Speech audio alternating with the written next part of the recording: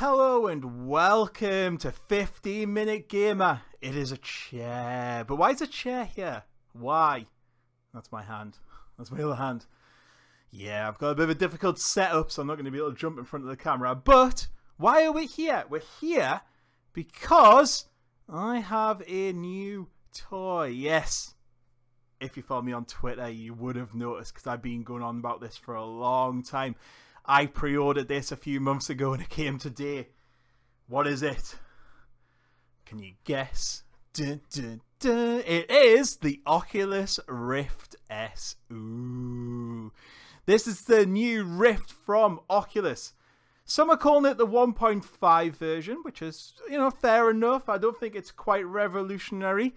I don't think it's changed too much from the original, but it has uh, better resolution better control and contact, better room scale, better everything. So everything just seems to have been improved a little bit.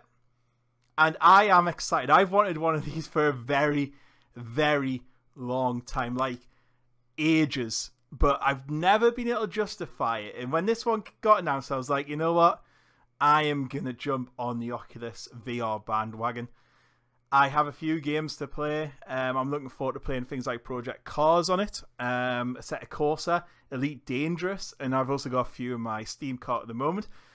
I, for one, have not played much VR games. I'm going to have to admit that I have played the Star Wars one and the little Valve Room one as well, but apart from that, I'm going to have to say my, my VR isn't that good. So, let's see what's inside the box, and obviously that means a jump cut.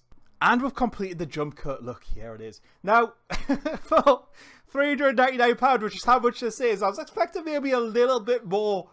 Boom, when I opened the box, it's there's nothing in here. But let's see what we're going to look at first. We'll have a look at the controllers. So these are the two controllers. So there you go. You've got your trigger buttons on the side and the top and you've also got your little directionals there and then your buttons there. I have not used this one. I used mine with a controller uh when i had a go so i'm not sure how these uh yeah how these operate but we'll soon find out. So yeah they're the two controllers you get. Now we'll put them to one side. Now there's a little black uh box which i'm guessing has some sort of setup. Yes it does and safety warning and some cables. That's all very exciting stuff. What's it? What is that? Um, that seems to be some sort of USB to display port. I'm a bit unsure about that because I thought this had to be HDMI. Oh, we also have some batteries, so I'm guessing the controllers use batteries. Got the package that tight in there. Oh, good God. So we've got some batteries. You would have thought Duracell, maybe. And that is it. So that's that content. So these must open up to put the batteries in somehow. Hmm. That's going to have to be instructions on that, I think. It does feel really light. So yeah, we're going to have to have a look through there to find out how to put the batteries in. Right.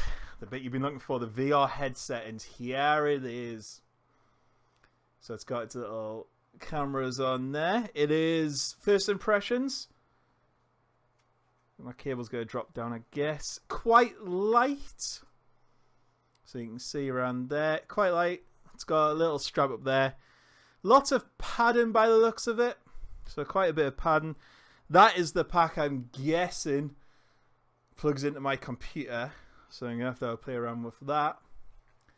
And yeah, that's what I'll be looking like when playing this. It feels really light. It doesn't feel heavy which is good. I'm not sure what that switch is on there. I guess that's another thing to find out. it looks like a camera, so I'm guessing maybe that's something to do with the room scale. I guess that adjusts, yeah, that seems to adjust how big it is.